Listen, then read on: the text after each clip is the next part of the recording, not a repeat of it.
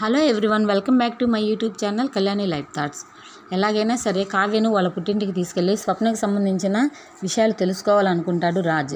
దీనికోసం అపర్ణ వద్దన్నా సరే కావ్యను వాళ్ళ ఇంటికి తీసుకెళ్ళడానికి సిద్ధపడతాడు. తాను వద్దన్నా వినకుండా తాను వద్దన్నా వినకుండా కావ్యను పుట్టింటికి తీసుకువెళ్తాను అని రాజు చెప్పడంతో అపర్ణ మండిపడుతుంది. అపర్ణ బాధ చూసి కావ్య వద్దండి ఇక్కడే ఆగిపోదాం మీ అమ్మగారిని బాధ పెట్టి వెళ్ళాల్సిన అవసరం లేదు అంటుంది. వద్దు. నీ దయాభిక్ష మీద నిలబడితే తల్లి కొడుకుల బంధానికి అర్థమే లేకుండా పోతుంది. మీరు మహామాయగాళ్ళు. మీ కుటుంబమే అంతా. ఎంతమందినైనా మాయ చేయగలరు. తీసుకెళ్ళు. నా కొడుకు కొంగున కట్టుకుని తీసుకెళ్ళిపో అని అపర్ణ ఫైర్ అవుతుంది. ఏం చూస్తున్నావురా వెళ్ళు అని కొడుకుకి చెప్పి ఏడుస్తూ అపర్ణ లోపలికి వెళ్ళిపోతుంది.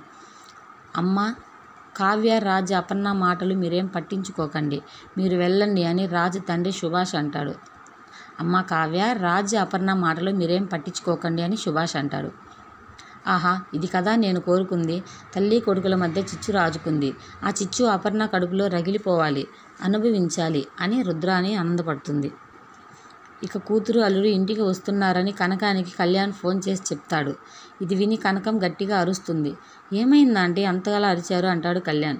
ఈ ఆనందానికి ఎగురు గెంతేయాలని ఉంది. ఇంతకీ ఏమిటి ఈ ఆకస్మిక పర్యటన?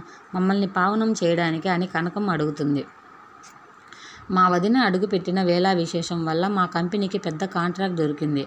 అందుకే మా వదినను అన్నయ్య పుట్టింటికి తీసుకువస్తున్నాడు. నేను ఈ విషయం చెప్పినట్లు మా అన్నయ్య వదినలకు చెప్పకండి.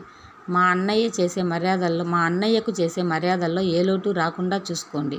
ఈ ఫోన్ ఈ ఫోను నేను చేయనట్లే నటించండి అని కళ్యాణ్ చెప్తాడు.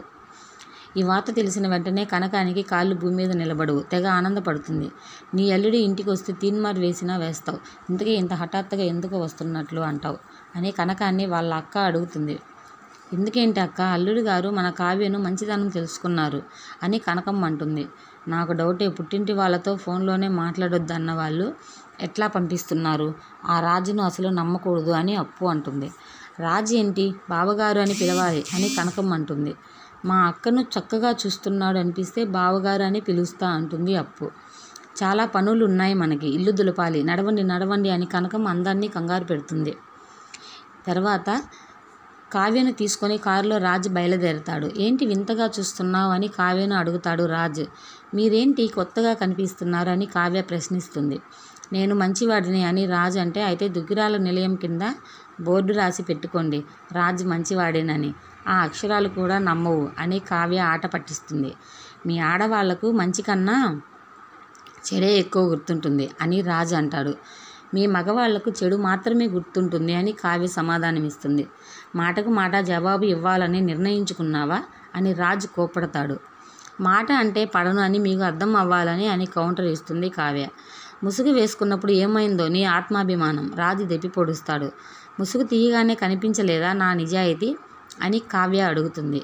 కనిపించింది. పచ్చి మోసం. అని రాజు అంటే మరి ఆ మోసానికి ఎందుకు తాలి కట్టారు? అని కావ్య అడుగుతుంది. నా కర్మకాలి అంటాడు రాజ్. మీరు ఒక్క మాటకు సమాధానం చెప్తారా? మీ అమ్మగారంటే మీకు చాలా ఇష్టం ప్రేమ గౌరవం. కానీ ఇవాళ ఆవిడ మనసు నొప్పించి మరీ నా పుట్టింటికి తీసుకువెళ్తున్నారు కదా. అంత తొందరగా నా పైన జాలి ఎందుకు కలిగిందో చెప్తారా? అని రాజు కావ్యను అడుగుతుంది. అని రాజుని కావ్య అడుగుతుంది. నువ్వు అందరి ముందు మహానటిలా పుట్టింటికి వెళ్ళాలని నటిస్తుంటే నా కళ్ళ ముందు విలన్లా కావడం నువ్వు మహానటిలా పుట్టింటికి వెళ్ళాలని నటిస్తుంటే నా వాళ్ళ ముందు విలన్ను కావడం ఎందుకని ఒప్పుకున్నాను అంటాడు రాజ్. కానీ నువ్వు చేసిన మోసం చెప్పిన అబద్ధం మాకు జరిగిన అవమానం అన్నింటికీ కారణాలు నువ్వే అంటాడు రాజ్. ట్రాఫిక్ సిగ్నల్ పడడంతో కారు ఆపుతాడు రాజ్. ఇంతలో మల్లెపూలు అమ్ముతూ ఒక ఆవిడ వస్తుంది. పూలు బాబుగారు అంటే నాకు వద్దు అంటాడు రాజు. మీకు కాదు బాబు అమ్మాయి గారికి అంటుంది ఆవిడ. పూలు వద్దు ఏమీ వద్దు వెళ్ళు అని కసురుతాడు రాజు. ఇంత పిసినారిని ఎలా పెళ్ళి చేసుకున్నావమ్మా అని కావ్యతో ఆవిడ అంటుంది. నేను పిసినారినా? తీ ఎన్ని మూరలు ఉంటే అన్ని మూరలు ఇవ్వు అని రాజు కోపంగా అడుగుతాడు. మూడు మూడు మూరలు ఉన్నాయి బాబు అని ఇస్తుంది. నాకు పువ్వులంటే చాలా ఇష్టం. అందులోని మీ చేత్తో మొదటిసారి ఇస్తున్నారు. అవి నాకు ఇంకా పవిత్రం. ఇవ్వండి అని కావ్య చేయి చాస్తుంది. కానీ రాజు ఆ పూలు వినాయకుడికి పెడతాడు. రాజు చేసిన పనికి కాస్త కావ్య కాస్త బాధపడుతుంది. మీకు తెలియకుండానే ఒక గొప్ప జీవిత సత్యం చెప్పారు. ఎన్నో పూలు పూస్తాయి కానీ భగవంతుడికి చేరేది కొన్నే. ఎంతోమంది పుడతారు కానీ భర్తకి ప్రే భర్త ప్రేమ దక్కేది కొందరికే అంటుంది కావ్య. ఇంతలో స్పీడ్ రా స్పీడ్ బ్రేకర్ రావడంతో వినాయకుడికి పూలు పెట్టారు. వినాయకుడికి పెట్టిన పూలు కింద పడిపోతాయి. కానీ ఇంతలో కావ్య పట్టుకుంటుంది. మహాప్రసాదం మీ చేత్తో కొన్నారు. ఆ భగవంతుడు ఆశీర్వదించి ఆయన చేత్తో నాకు ఇచ్చారు. ఇంతకన్నా అదృష్టం ఏముంటుంది నాకు? అని అవి తీసుకొని తల్లో పెట్టుకుంటుంది కావ్య.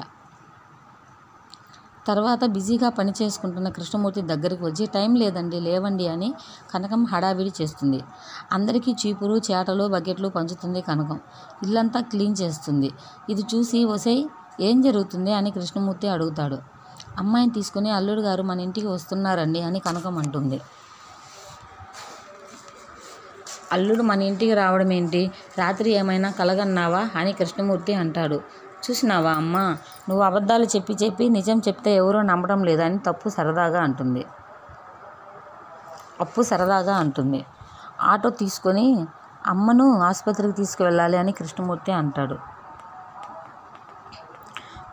అవును నాన్న అమ్మ అబద్ధాలు ఎంత నిజమో ఈరోజు రాజ్ అక్కను తీసుకువచ్చేది అంతే నిజం అని అప్పు అంటుంది.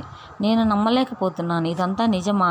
అల్లుడు కావ్య ఇంటికి వస్తున్నారా అన్నది నిజమే కావచ్చు కానీ కావ్యను ఇంత త్వరగా కోడలుగా ఒప్పుకున్నారని మాత్రం నేను అనుకోను. ఇంతలో ఏదో మతలబు ఉంది అని కృష్ణమూర్తి ఆలోచిస్తాడు. ఇంతలో బెడ్రూమ్ చేస్తూ స్వప్న ఫోటో చూసి కనకానికి చిరెత్తుకొస్తుంది స్వప్న వస్తువులన్నీ తీసి మూట కట్టేస్తుంది. అన్నీ బయట పారేయమని అప్పుతో చెప్తుంది. మరోవైపు స్వప్న గుడి లోపలే రాత్రి నిద్రపోతుంది. ఉదయం కాగానే అక్కడ క్లీన్ చేయడానికి వచ్చిన వాళ్ళు లేపుతారు. ఏంటో తప్పు చేయడం లేచిపోవడం మోసపోవడం గుడిలో పడుకోవడం కన్నవాళ్ళు ఏమైపోతారనే ఆలోచన కూడా ఉండదు. చిచి అని వాళ్ళు తిడతారు. అక్కడి నుంచి లేచి స్వప్ చిచి దీనంతటికీ కారణం రాహులే. ఎలా పెరిగాను నేను? ఎలా తలదాచుకున్నాను?